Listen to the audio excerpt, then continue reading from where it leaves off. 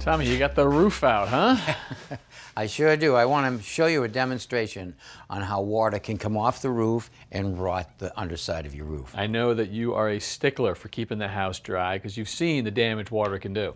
Oh, it's amazing. And it can attack all, your fascia board, your sidewalls, and even underneath the roof shingles. Mm -hmm. Let me show you right here. I've got a perfect example of a shed. Yeah. All right. And on the leading edge of the shed, there is a, no drip edge, but if you take a close look at the sheathing underneath the shingle, you can see how the sheathing is black, the structure is black, and the sidewall eventually is going to get black. So you can tell it's wet even though the shingles overhang the sheathing in the edge there. Right. Once the roof gets wet, the water comes down over the edge and gets sucked into the sheathing and it will come right up the wall and eventually rot all of this. This has got to be back four or five inches to rot right there. Right. I mean, it's sort of inconceivable to think that the water will run uphill. That works on surface tension. Let me show you. I've set up a little demonstration here.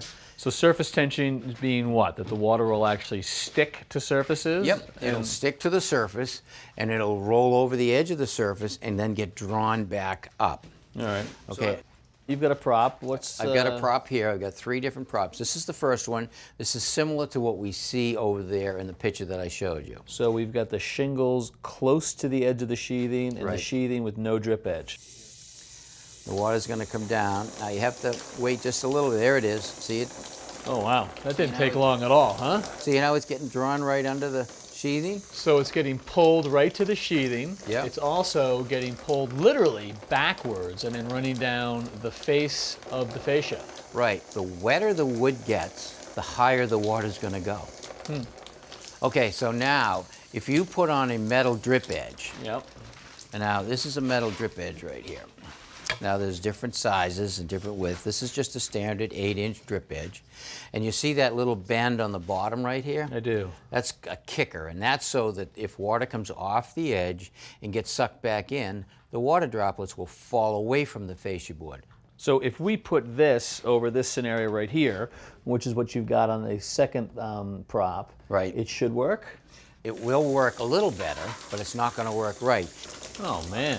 It's wrapping itself in, hitting the drip edge. It's still wetting the fascia board. There, I mean, there's still a lot of water just running down the fascia. Yep.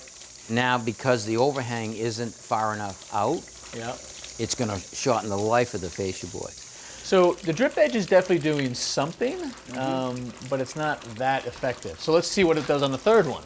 Okay, so now on the third one, I've taken the the drip edge and I've created a gap, the thickness of my finger. Mm -hmm. I've also overhung the shingles 3 eighths to a half an inch. Which is more than in the second example. Right.